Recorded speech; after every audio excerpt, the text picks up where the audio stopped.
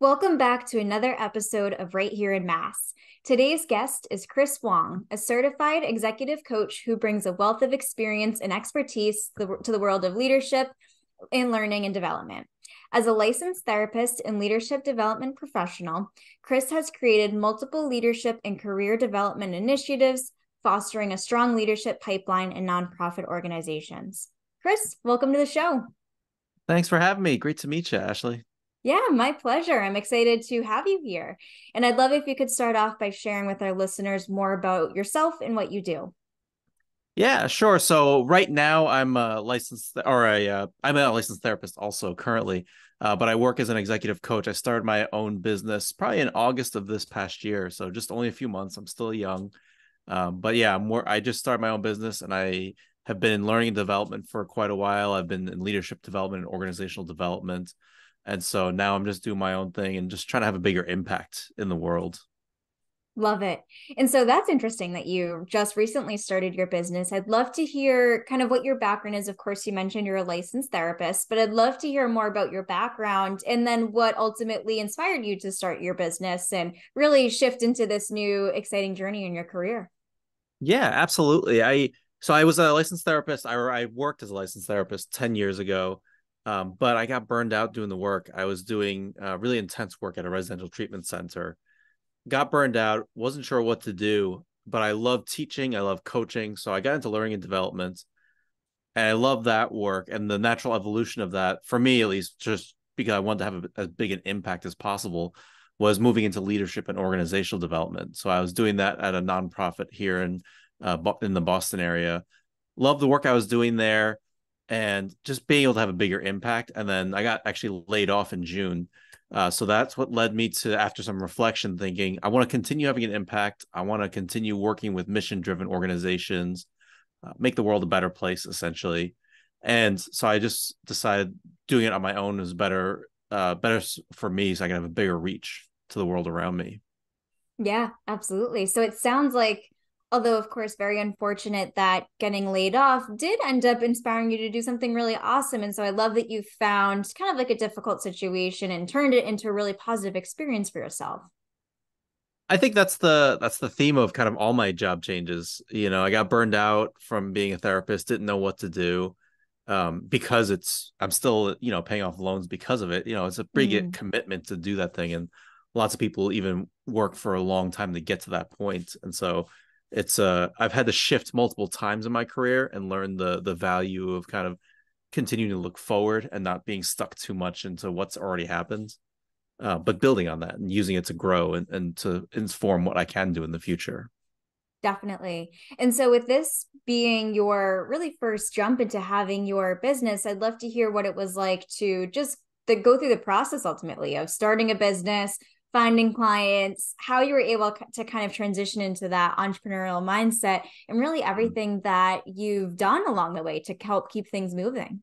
Yeah. So, as a child of immigrants, I've always been taught have a steady job, don't work for yourself, work for somebody else. That way, you have a steady paycheck, you can provide for your family and all that. So, I've never even considered having my own business or being an entrepreneur. Uh, but my wife, her dad has had his own business has her entire life.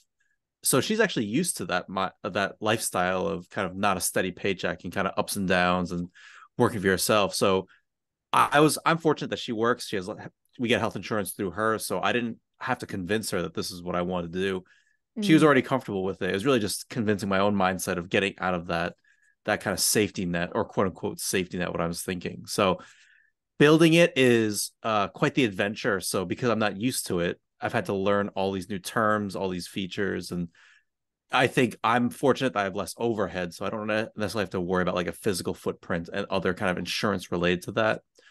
But I still have to do other things, you know, because I'm providing a service. Mm. So it's been quite a journey, and just understanding I didn't have a client base that I already could build upon. I had to go out and start looking for new people.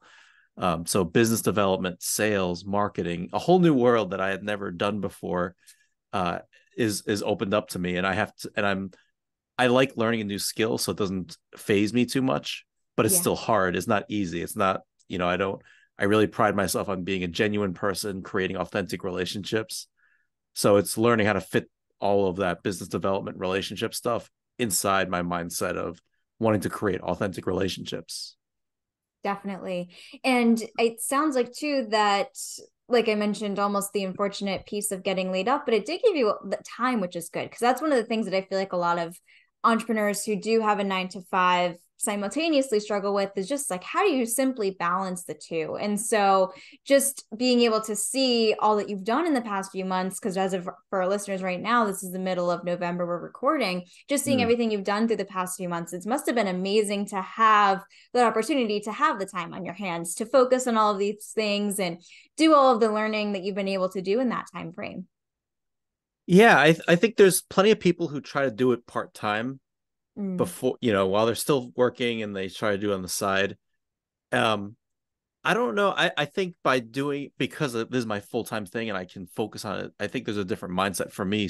Certainly, it's I have to succeed. I can't just not do it. I can't just right. take some time off or do whatever. Like certainly I have to take care of myself and have that work life balance but there's a different mindset of I can't just let things go. I have to really pursue this and I have to work hard. There's there's that mindset of like your back's against the wall and you have to succeed, um, which I think is helpful sometimes for some people to really be feel that pressure of like I can't just rest on my laurels. I can't take it easy. I have to actually press forward. Definitely, definitely. And I love what you had mentioned earlier about uh, what your parents had kind of instilled in you is the idea of getting a job and having that steady paycheck is what will give you that security. But really, that's not always the case. And that's something mm-hmm. that I had learned myself too, where I always thought having to work for another company or something else, that's where I'd mm. get that great security, but ultimately you're at the mercy of someone else. You're at the mercy of a bigger organization compared to for yourself, right. like you're in control of your destiny. So as long as you really like you've done and like you've mentioned, put in the work, really being able to work hard every single day and then be able to make changes as needed based on what's working and what mm-hmm. might not be working, then you'll end up having the outcomes that you'd like to have at the end. Right. Right. And so how long have you been doing it? Um just over 7 years. Wow. So then what was that first year like for you as you were kind of uh jumping out into your own? Yeah, so that was a little bit difficult because I actually was in college when I started my company. So I was mm. like juggling college full time and trying to be a normal college student and having my business mm. and everything like that. And so it was definitely a grind, I'd put it, where just nonstop, um, every single minute that I had was just dedicated to something, whether it was schoolwork or my business or anything like that. And so I always used to joke that I just truly didn't know what it meant to be bored because I just didn't have the mm. time to be bored. but ultimately, that's what ended up, I think, helping me to get into the position that I am in today and being able to take my marketing agency, which is what I do full time, um, full time yeah. once I graduated. And so I think just kind of like what you've done within your journey as well is just really putting your nose down and having that hard focusing work, I think will definitely help to bring you or help to keep you ultimately going full force through your business. Yeah. Yeah. Yeah. That's absolutely right. Yeah. And so I'd love to hear more about the topics that you work with your clients on because the, there are a few that you had shared which i'll put in the show notes for listeners that i found to be really interesting with the first one being navigating difficult conversations i personally mm-hmm. struggle mm-hmm. with this myself in my professional career and i'm sure many if not all of our listeners do struggle with this as well mainly because I never want to hurt the feelings of the person that I'm having the difficult conversation with. But it's also important to mm. have that difficult conversation because that's how problems get solved. And that's how uh, the goals of the company get met ultimately. And so, for anyone who's struggling with knowing that they might need to have a conversation, but not wanting to have a conflict come out of it, what advice would you give to them for just kind of navigating that? Yeah, so I, I that's how I actually got started. It was creating an online course around it, and I oh wow, I saw a need because people just have a hard time with difficult conversations, and yeah, you know, me, I grew up not talking about emotions, so it's certainly hard for me as well to get into it. Um, but I, I think first of all, the the first thing anybody needs to do if you're trying to navigate difficult conversations is you need to know what the outcome you're looking for is because mm-hmm. a lot of times we get stuck on just the emotions of it we and we get so focused on like how am i going to navigate their difficult behaviors or my difficult behaviors or what if they say something that upsets me or what if i upset them all these kind of things that go through our head in terms of what's happening. But first is we need to figure out what is the goal I actually have. And that gives a lot of clarity into figuring out what do I even need to say in the conversation? How do how can I s- set up the conversation so that we can both get the outcome we're looking for in it? Mm. Um, and then from there, it's just you know reframing how we even look at conversations like that, uh, ways to to facilitate dialogue so that it's a, a two way conversation and creating space for them to also feel comfortable because they're the other person in the conversation is also going to feel the same way. They're going to feel upset. They're going to feel that fight, flight, or freeze response. So it's it's really about on you, uh, whoever is facilitating it, to create a safe space so that both people can be calm and engage in the conversation and dialogue respectfully. Yeah. Yeah, that's great advice. And I know personally for me, what happens is I always think of worst case scenario. It's like, mm. what's going to be the worst case scenario that happens yeah. once I have this difficult conversation? And that's why it brings so much anxiety. And I imagine it's probably the same for many other people where their mind just instantly assumes that a terrible thing is going to happen once the conversation is happening even if even though it could end up being the complete opposite even though it could be an amazing very productive conversation but just kind right. of not instantly reaching towards the worst possible thing that could happen. Yeah and i always say lean into that like some of us some people absolutely you know kind of plan all these like what ifs the worst case scenarios. And that's not a bad thing just take that and say what are, what am i going to do in response to that? If that happens what mm-hmm. am i going to do? And that's the value there's also value in practicing those things. That way if it does happen uh, which may or may not at least you'll feel prepared and you won't have to feel off balance if that thing happens. Yes that's great advice. One thing i found personally that has i feel like has worked for me in these instances is almost doing like i don't know if this is the right term but calling it like a compliment sandwich where with a team member specifically if there's there have been instances where previous team members um not necessarily were like not following through on their work, but more so not getting as much done as they should be, if that makes sense. And so, mm-hmm. what I try to approach it as is like, I love all the work that you're doing. Like, your content always amazes me. I do notice that we're falling a little bit behind on some deadlines. Let me know if there's something I can do to help. Like, I try to almost like start with the good, maybe bring in the, what the problem might be, and then close out with the good by offering some way to help. And I've found mm. that that usually ends up helping, but it's kind of hard to just know like how exactly do you approach something like this? So it's so interesting to hear as an expertise yourself what your thoughts are and what your recommendations are around that. Yeah, I uh at the risk I don't want to offend you. I actually am not a fan of the compliment sandwich. Yeah. I actually don't find it very helpful because people only hear that last either they only hear that last part or they find that that's disingenuous. Uh, uh yeah. And also, you know, sense. if we eat a sandwich, we're not eating a bread ham bread sandwich or eating just a ham sandwich. The most important part's that middle piece, that critical feedback you want to give. Mm. Um, there's there is a formula that I like to use that's still straightforward, uh, and it gives people confidence. You know, just say specifically what they did, and then what the impact of that was, like why it's important, and then what the new behavior you're looking for is. Mm. Yeah, that's also very straightforward you know, and people want good critical feedback done well. They obviously they don't want to be criticized just like being told what they've done right. wrong. But but people want guidance. They want to be able to do better. They don't want to be doing a bad job generally. They want to be doing as good a job as they can. Yes. That makes total sense. And then that way there's no um instance where there might be misinterpretation or someone might not be understanding it or like something slipping through the cracks. So I think that's a much better yep. approach to take for anyone who's listening and might be in this situation themselves. Yeah, yeah, absolutely. And I've I've come across so many leaders, well-intentioned leaders who are just they're worried about giving too harsh of feedback or overburdening yeah. their employees and and really this is the kind of thing that'll help build that relationship with your employee and they when done well. If it's done well, it, it can help build a relationship. Absolutely. And I'm guessing that you probably recommend doing it face to face in some fashion whenever possible. Would you say so? I would say so. I, yeah. I think that kind of conversation should be in person.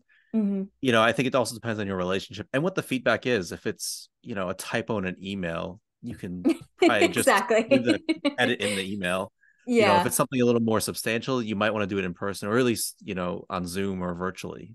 Yeah. Know? Yeah, which I think is a great point because I mean things get misinterpreted easily. People do, might assume that there's a certain tone in an email or they might misinterpret how you phrase something and so i think being able to just from conversations i've had with people being able to see someone's facial expressions and just hear their voice i think can make things go a lot more smoothly in that mm-hmm. sense mm-hmm. Right absolutely yeah. Well, great stuff about navigating difficult conversations. Another thing that I know that you specialize in that also stood out to me was being able to focus on enhancing productivity within mm. teams. And so I'd love to hear more about your recommendations for that and what you typically what might share with your clients for tips or anything like that. Yeah, a lot a lot of it is or starts with just creating that shared vision. Does your mm. team even is everybody rowing in the same direction essentially? And that's I think the biggest part is a lot of times leaders will assume the team or their division or their department or the the entire organization they'll assume everybody has the same goal but that may not be the case and so yeah. it's it's important on the leader or the manager or whoever to get a temperature check what is everybody doing and why are they doing it uh, and then if they need to be recalibrated get them focused on that and then figure out what is getting in the way of that at that point you know trying to figure out is it conflict? Is it there's too many competing priorities and we need to get stuff off people's plates? You know are people just not they don't have the skill set and they do need some training or some coaching or mentoring to get up there? So what is it that they don't have that they're that's preventing them from getting that high productivity? Mm. with that do you find that the hours that people work kind of relates to productivity? Like for background for our listeners before chris and i started recording one thing we were chatting about is how we both have the afternoon slump at two o'clock and yep. so i think that for many people the idea of working nine to five can feel not fully productive for them because it's not always when they're at their maximum energy level or when they have their head in the game, quote unquote, to be able to really have some deep mm. work done ultimately. Mm. And so, is that something that you kind of explore with your clients? Is kind of shifting the hours and focus, leaning in more on those flex hours so people can choose the times to work where they feel they're at their best? Yeah. And I think one of the things that I, I try to um, focus on is employee engagement in this type of work is actually really individually focused. As as mm. more difficult and complex it'll make everything, there won't be a one size fits all. So if you have a shift worker who needs to be there doing specific things for a specific number of hours, so like in healthcare, you know, a nurse needs to be there from this time. They're not necessarily right. flexing like, right? They have to be there or any kind of frontline worker like that. So it's being mindful also. Do you have a job that you can flex hours? So that, that's reasonable. You can flex hours. I've um, we I've had a supervisor personally that gave us four day work weeks. You know, I know it's a big topic now, but I love that. It was great. Yes. But also, I loved it because I didn't have kids at the time, and so I had more flexibility to work later in the day. I couldn't do that now. I have little kids, mm-hmm. so it's it's it would be impossible. And you know, for me, flex hours worked great. So I I um my kids get home like around four thirty ish, and so I would usually end the the workday earlier at like four but then I would do more work later at night. And it wasn't a stressful thing for me because I knew at least during those other hours I was able to I was able to focus on my family. Yeah. So part of that is yeah, flex hours, understanding what works best for people, um, understanding what your team's good at also. So you, you know what are their strengths. So what tasks do they need do they that fit really well with their strengths and their abilities? Um, or if there are areas of development they want to develop and what tasks can you give them so that they can build up those skill sets with along with coaching and mentoring.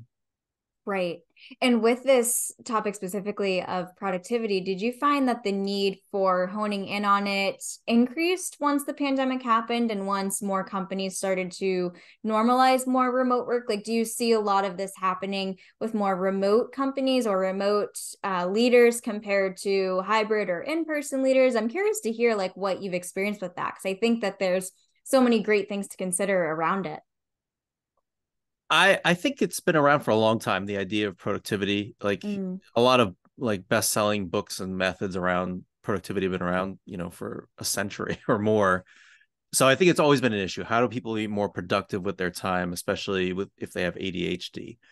I think yeah. what's changed is if people if managers were previously used to managing just by looking or like managing by walking around, just by seeing what people were doing, and suddenly they didn't have that ability, then it's a transition for them. I think that's been more of a transition more so than anything else is I they can't focus just on how many hours somebody's sitting in the office.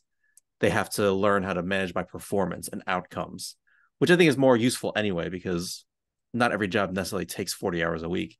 So yeah. it's really more important to think about what's the outcome somebody's looking for and are they meeting those expectations?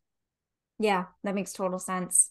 And with that, a lot of the organizations that you work with are in the nonprofit space. So you mm-hmm. had mentioned previously that before starting your own business, you did work for a nonprofit. And I'd love to hear what inspired you or nudged you to join the nonprofit sector and what you enjoy the most about being a part of it.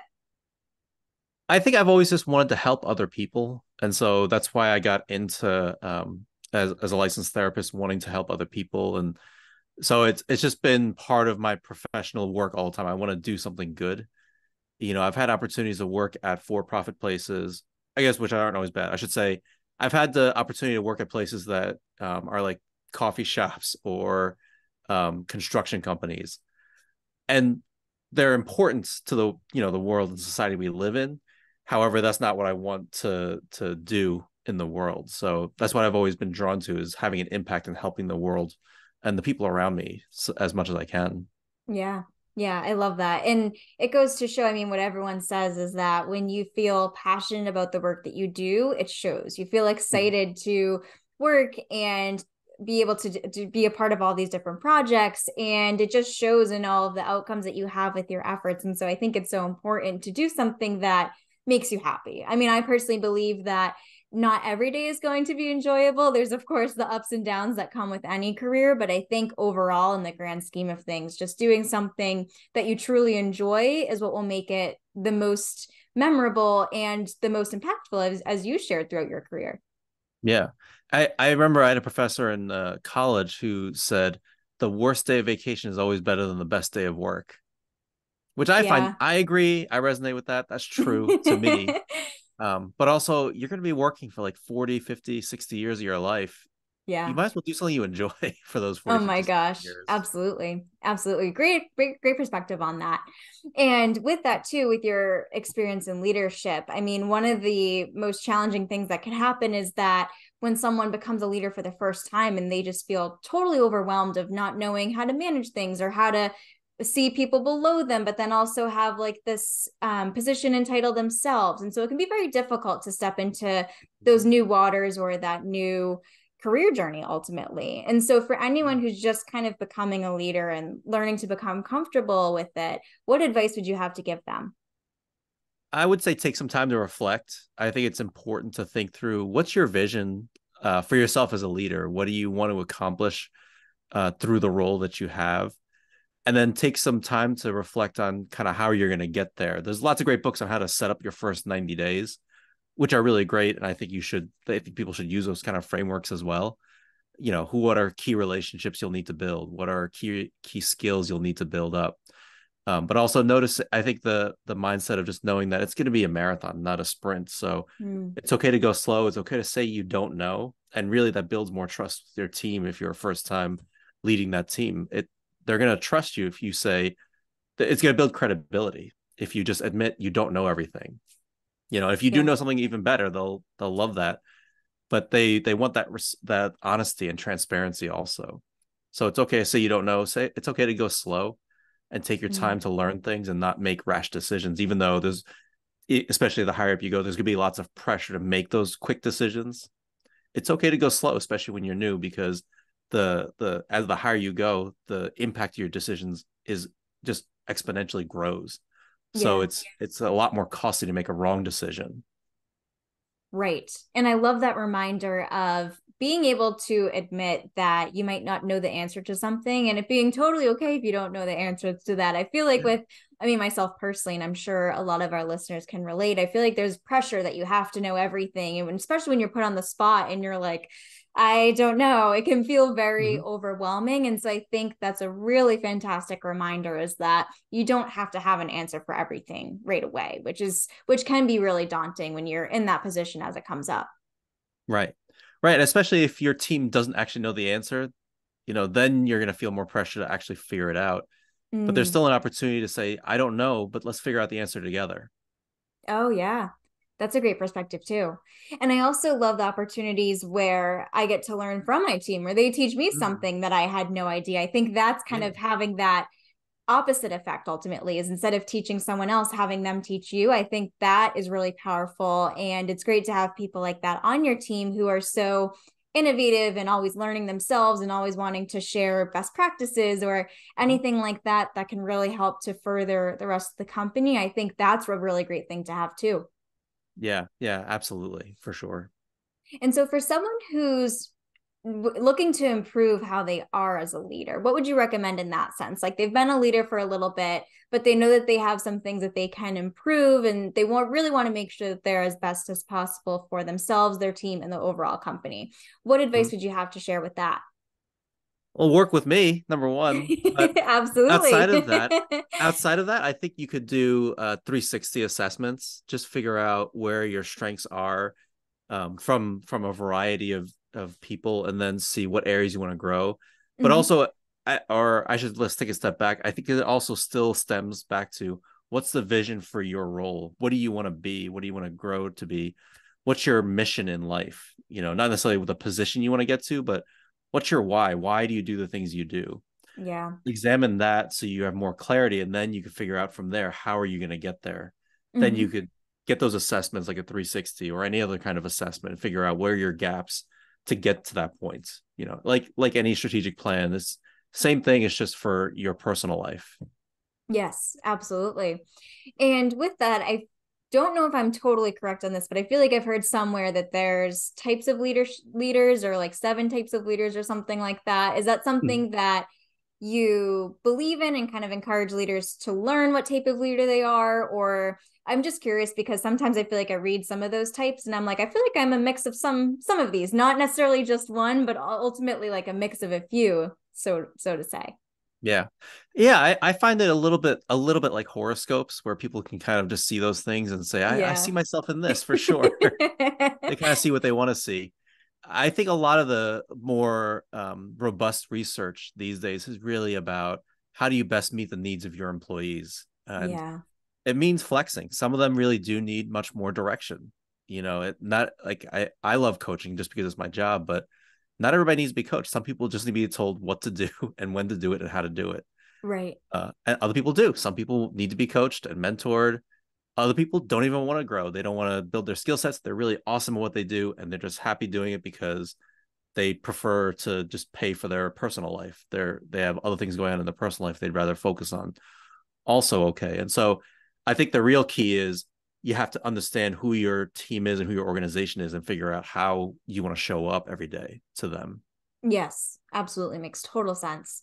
And so, a few of the specialties we've mentioned that you really work on with your clients include productivity and also including navigating difficult conversations. Could you talk more about what you specialize in when it comes to leadership and learning and development and types of situations that you might help your clients work through? Yeah, so I really focus on nonprofit leaders and really just looking to I- increase their influence and navigate difficult relationships. So if they're trying to implement a strategic plan and they get stuck into a roadblock, you know, I'll, I can help them with kind of figure out do they need to build relationships, key strategic relationships? Do they just need better uh, operational principles and figuring out how to sustain that and execute that, uh, creating high performing teams? So uh, I've worked with some teams to just do 360s of all the members and figure out how they can work both individually and together better to to just so that they can achieve more so and then conflict resolution, of course. Um, I've I've done lots of that as well. Just difficult conversations that need to happen.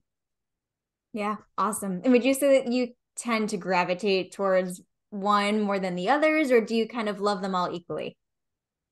I um I think just based upon the things I talk about and who I talk to, I think people tend to talk to me most about they're struggling with getting things done because of these these difficult relationships across their organization. So mm. they're trying to lead a culture change, but there's so much resistance from from the department below them as well as from their own boss and so now they're trying to navigate all these things and get people on their side or they got this new strategic plan and they need from the organization and they need to execute that uh, you know for their entire organization how do how do we move things across the finish line So that's usually w- what comes my way the most. Yeah.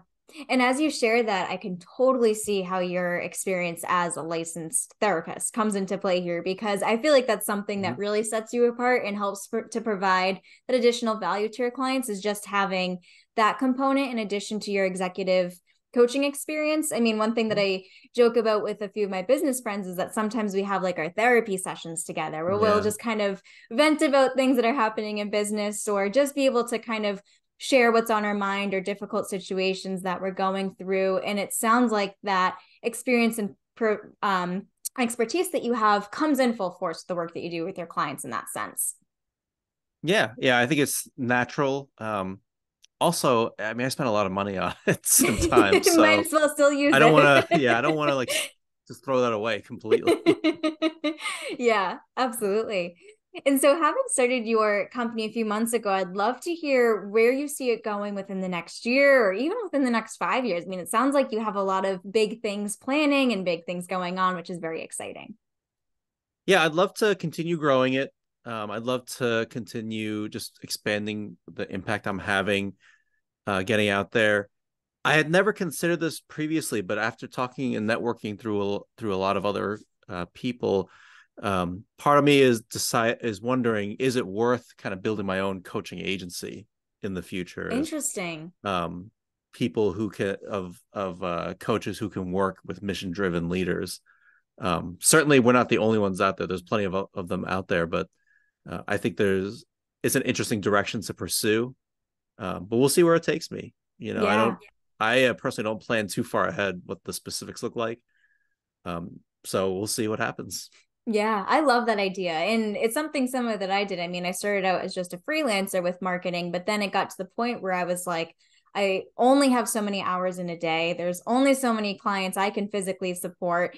And it gets to the point where if you do want to be able to make a bigger impact and help more people, then having that team is crucial. And so I love Right. that idea of being able to have like that coaching agency of bringing in professionals just like yourself to work with all these different leaders and organizations and support them with their goals. Yeah, absolutely. So we'll see. We'll see where the road takes me. yeah, well, we'll have to follow up then once that happens so we can share more about it.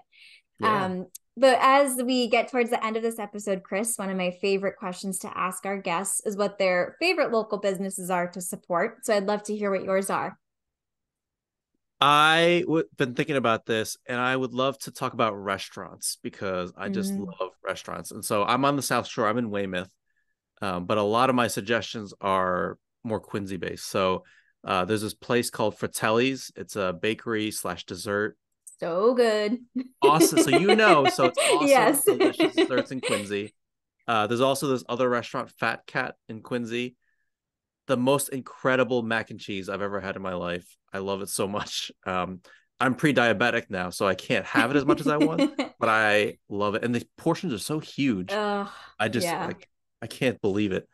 Um, so the those are the two big ones that I uh, I I love, and I I would also I like um, Granite Telecommunications. They're not really most people listening to this podcast. I can't imagine like user services. They're telecommunications, um, but I just love like my wife works for them, which is why I know. But uh, I actually love the leadership they have there, and the Mm. the CEO is such a, such a nice guy, and they do so much charity, and a lot of it comes out of his own pocket Oh, partially wow. because he's a he, I think he's a billionaire, but um, but they just do so much because they really try to give so much back for cancer research or just other charities. Or I think he donated like a million dollars every week to a different nonprofit or charity That's last year. Um, so I just I appreciate that about him, and he's such a nice guy that I've I've met him a few times, and he always remembers me. Um, so he's it just seems down to earth. So I just really respect that company. I love that. Those are great shout outs. Chris, this has been such an awesome episode, and I've really enjoyed having the opportunity to have you come on the show to share all about yourself and things that you do within your business.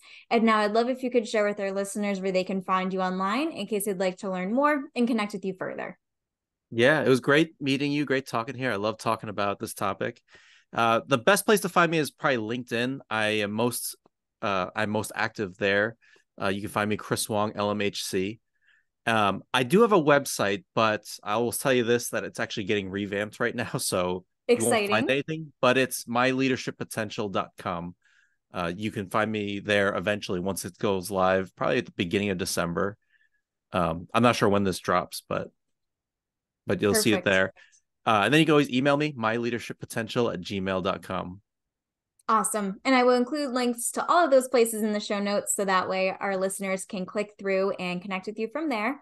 But thank you so much again, Chris, for coming on the show today. Thank you so much for having me.